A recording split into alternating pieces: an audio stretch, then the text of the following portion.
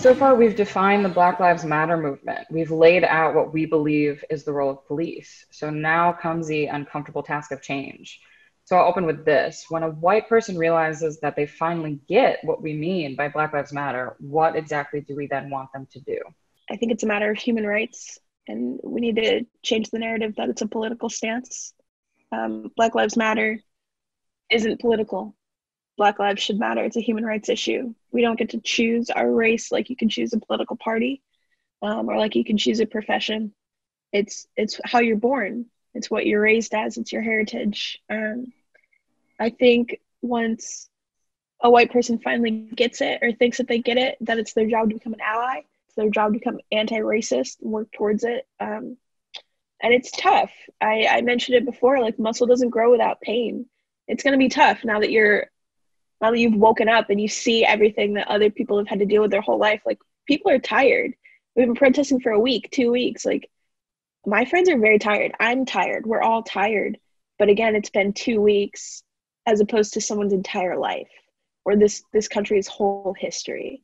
Like it it's not going to end next week. It's not going to end with a bill being passed. It's not going to be end with cops being locked up. It's going to keep going. And we have to keep fighting. And that this this is just the beginning. It's not a oh i finally get it. Now it's over. It's okay now it can begin because you finally get it. Mm-hmm. yeah i agree. And I, I think i think they need to continue having these tough conversations uh, because you're right it's not gonna you know it, it, didn't start yesterday or at george floyd and it's not gonna end there. Um, but you know you need to recognize where you stand with that um, and and just do better in terms of having the, those tough conversations with your, your family, you know, your inner circle, and, you know, force them to have the conversations with with their family, with their inner circle, and then also, you know, within within your workplace, you know, just look around. We talk about diversity. Um, if if the people, you know, that that you serve aren't, aren't reflective in where you work, then you know that's also part of the issue. Um, so we, we we need to have people who who have a, a diverse voice um, in positions that allow for us to to make uh, changes. So, mm-hmm. I think for me, it's very simply put: do something. Just do something. Educate people around you. Sign petitions. Amplify Black voices. Donate. Protest. Share stuff on social media. Be actively anti-racist. It's right now. It's just about don't burn out once you figure all this out, don't burn out, but don't also let this become a trend. This has to be a way of life. Civil rights is not a trend. These protests are not a trend. And I've seen a lot of nonsense on social media with influencers doing all these weird photo ops. This isn't a trend. This is people's lives. This is people's lives that are on the line. So just do something. Start with something, and then it can grow. I just, you know, every time uh, Carrie Ann, you said uh, diet um, racism. racism. I, I just go back to that commercial with uh, Kendall Jenner when she's like handing handing the Pepsi to.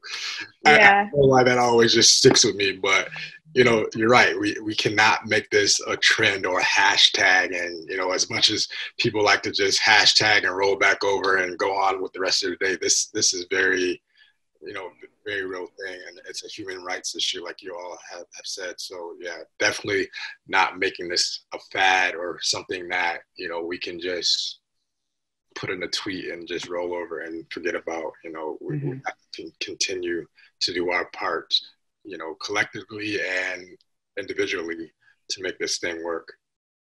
Absolutely. Black square instagram made me feel a lot of feelings um that whole day pretty much. I it was just it was people share it's a it's a conflicted emotion that I feel it's the people sharing that have never felt that way before or if I see people sharing it and I know those are people that have like said something dumb to me before whether like I don't act black or like I don't have black hair and I see those people sharing the black square and using the hashtags and I'm like okay I need to believe that people can change I need to trust in that but it's like the day before they were acting foolish and then the day after they were acting foolish as well. And it hurts. It hurts to see that like you know people are using it as a trend. And mm-hmm. i've really appreciated the brands that i follow who have dedicated their feed now to calling out things and to being actively anti-racist. I'm sad it took this long.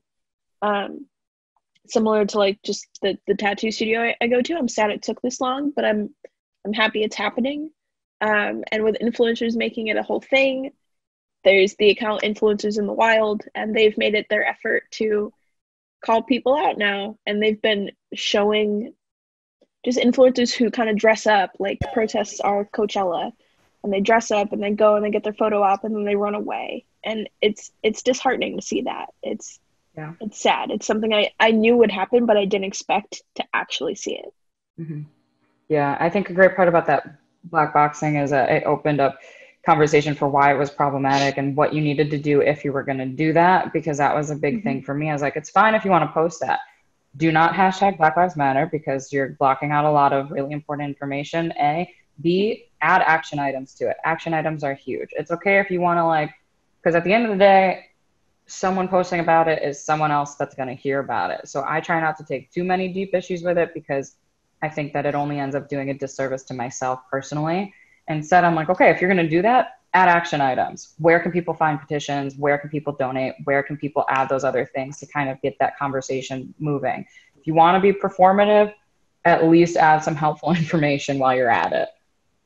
I think as that Tuesday went on, that's what I saw when I woke up that morning for work it was just the square and maybe maybe no caption or maybe black lives matter and as the day went on i was like okay we shouldn't be posting the hashtag like this is why this is why it's bad. And i would reach out to friends and we adjusted it. A lot of people did mute it or the uh, like other hashtags. And as the day ended it was more it was less of a black square and more of maybe a darker image with links or a darker image with a petition or link in my bio something mm-hmm. like that. And that was a good feeling that over the course of one day we still made a difference. We made a change mm-hmm. from you know 8 a.m in the morning to 8 p.m at night there was such a visible change and a shift in the perspective people on the internet had. So another question is why is race so uncomfortable to talk about with most people? This is kind of tough to answer. Um it race is a pretty sensitive topic no matter what race you're talking about. It can be white it can be hispanic it can be asian.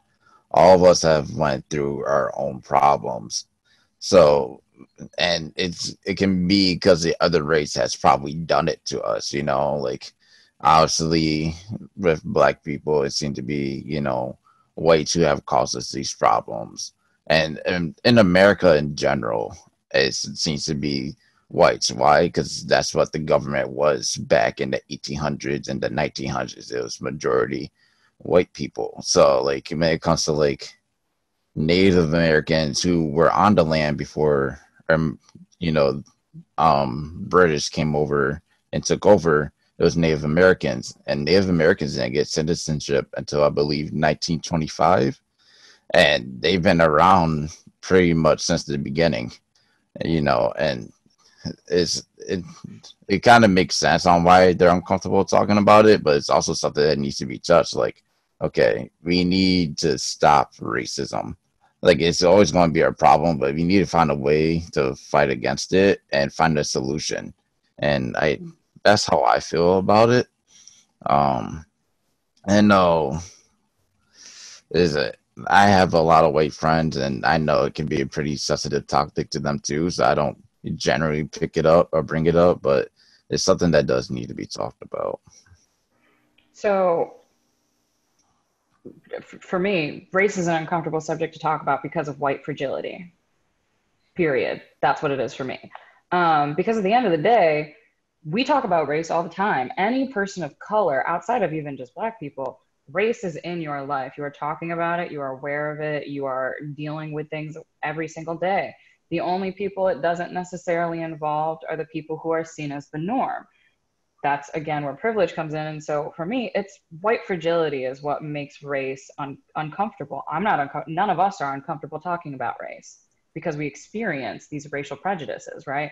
So a lot of the things that I'm seeing is that people are just unwilling to admit their racial biases that they have that have been perpetuated and empowered by not only just media but like your home life your teaching you know how many black authors were you reading in your ap english class probably none how many female authors were you reading in your ap english class? Probably none.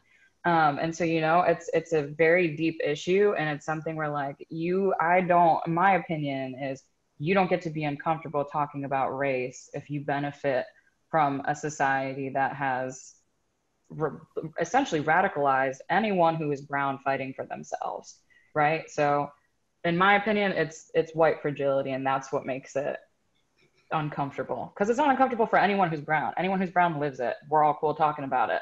The only people who get uncomfortable tend to be white. That's a good point you know it's, it's, it's those hard truths that are hard to swallow that you know or you know they grew up not being fully educated on on these things. You know, we, we have a school system that only tells us about slavery, uh, you know, the civil rights movement, and Barack Obama. You know, it's like this in between. we solved it. Yeah, it's like we we we've gotten over it. We're over the hump, and you know. That, that, that speaks to a bigger issue, you know, and in terms of why racism is ingrained in the education system. You know, we we should there should not be an elective to talk about Black history. You know, we shouldn't we shouldn't have to need a Black History Month to tell you about the history. We do, and then even even that is like, well, why do you need that? And it's like there's a bigger bigger you know problem here. So if we um, I don't know, you know, race is difficult, like you said, to, to swallow because of that discomfort that you know white America has when when dealing with it. You know, and it's like, oh well, get over it, or or you're playing the race card. But no, we can't just get over it because we don't go away, or we just because we're not looking at just because we don't pay attention doesn't mean the problem is not still there. You know, so yeah, that's my point. It's my skin color. It doesn't go away. It right. it is what it is. Mm-hmm. Um, I think I, I agree with the white fragility. I think it comes with a lack of control um, some conversations I've had with some white friends are like, well, yeah, that happened in the past. And they feel a lot of guilt because of it, because it's their their people, I guess. And they weren't there. They could have stood up back then. They can't change it. And it's like, well, why can't we just move on now? It's like, well, well, we're trying, but still nothing has changed. That's that's the thing. And it's just it it keeps coming back to it shouldn't be political it shouldn't mm-hmm. it shouldn't be a fragile subject like there my therapist is mexican and we talk about race all the time because of family values between hispanic culture and black culture. We talk about family stuff all the time. We talk about our lives. We talk about pride and different like different things that we have to deal with because of the color of our skin that others don't. And i'm i'm thankful that that's the person that whose lap i fell into with therapy but I don't know. I feel like I wouldn't feel comfortable if I had a therapist that was white talking about racial racial issues because I don't want them telling me how to feel. Show me what democracy looks like. This is what democracy looks like. Show me what democracy looks like. This is what democracy looks like. Show me what democracy looks like. This is what democracy looks like. Show me what democracy looks like. This is what democracy